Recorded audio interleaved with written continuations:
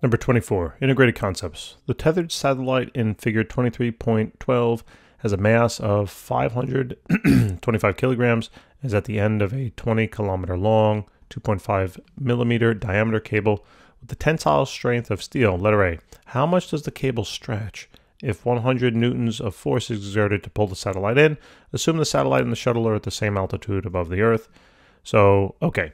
Um, so, in order to kind of you know really understand this concept, you definitely have to review chapter five in terms of elasticity. All right, um, I'm going to you know that's from way way back when. So we're going to need this particular formula though. All right, and it's going to be the formula for Young's modulus. So you got to take a look back at like I was mentioning chapter five. Seek out some problems there. So this the the force applied to a a, a rigid bar basically. In this case, we're going to assume that the cable is a rigid bar made out of steel. Um, it's going to be uh, equal to the change in length divided by the Young's modulus, right, for the material. It's basically like a little curvy Y thingamajig, okay? And uh, then multiplied by the cross-sectional area of that cable, all divided then by the overall length, okay? Now, we're trying to find out how much does the cable stretch, or in other words, what's the change in length of the cable.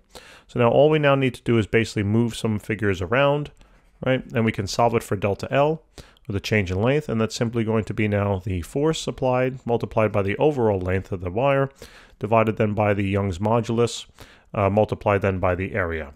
Okay, now um, then the cross-sectional area that is. So we basically this you got to look up the Young's modulus for steel, and uh, yeah, we now know everything basically. we plug it in. So the force here that's applied is going to be 100 newtons of force.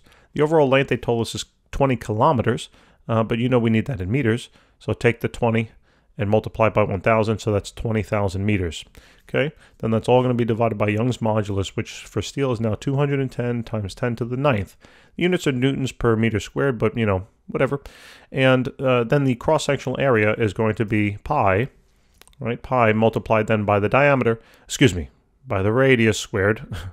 and they gave us the diameter, so we need that in terms of now radius, and we also need that in terms of um, meters, right? Not millimeters. So if this is the diameter, half of that would be the radius. In other words, 1.25 millimeters would be the radius, but you know we need that in meters.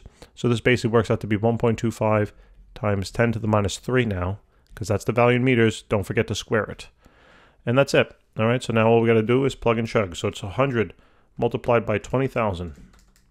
Then divided by, parenthesis now, 210 times 10 to the ninth, times then pi, times then 1.25 times 10 to the minus 3 squared. Close those parentheses, and there you go. So now the change in length here of this particular rod is going to be about 1.94 meters. 1.94 1.94 meters. Okay, put the answer up at the top. That's that. All right, so now let's take a look now at uh, letter uh, B. All right. So letter B, actually, you know what? Let's just delete this picture because quite honestly, we don't need it. So this is A. This is now going to be B. So, ba, ba, ba, there it is. Letter, uh, what is the effective force constant on the cable? All right, this is a review of forces, right? And uh, basically, it should be in chapter 5. All right, so the uh, force, overall force that's applied will equal this force constant K multiplied by the change in length or change in X all right, the length of that particular rod. Since I'm using L, I'm just going to leave it as an L. So to solve this thing for K, it's fairly straightforward. It's going to be the force applied divided by then that change in length. So the force constant here is going to be 100 newtons divided then by the 1.94.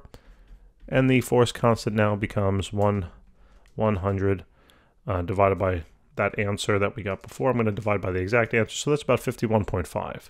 Okay, 51.5. And this is now newtons per meter. All right.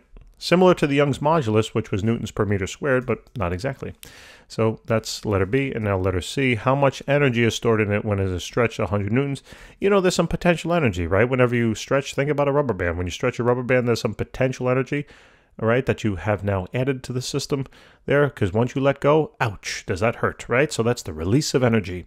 Ah, doesn't it feel good to release energy? So um, what we now need to do is use the potential energy formula here, all right?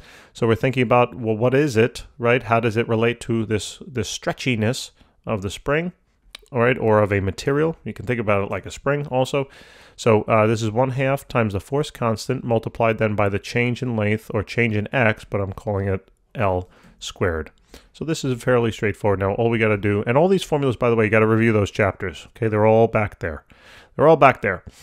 Feels like ages ago, right? So the force constant here we just found is 51.5. The change in length was 1.94. You got to square it. And now this will be the potential energy stored in that particular system. So it's 0.5 multiplied by 51.5. I'm using the exact answer multiplied then by that change in length. Squared, I'm using all exact answers here. So this is about 97, okay? 97.0 joules of energy. And that's it. Guys, thanks so much for tuning in. I appreciate it. I hope this helps. And like I said, check out some of those problems from way back when for a refresher. And I will see you soon. Take care.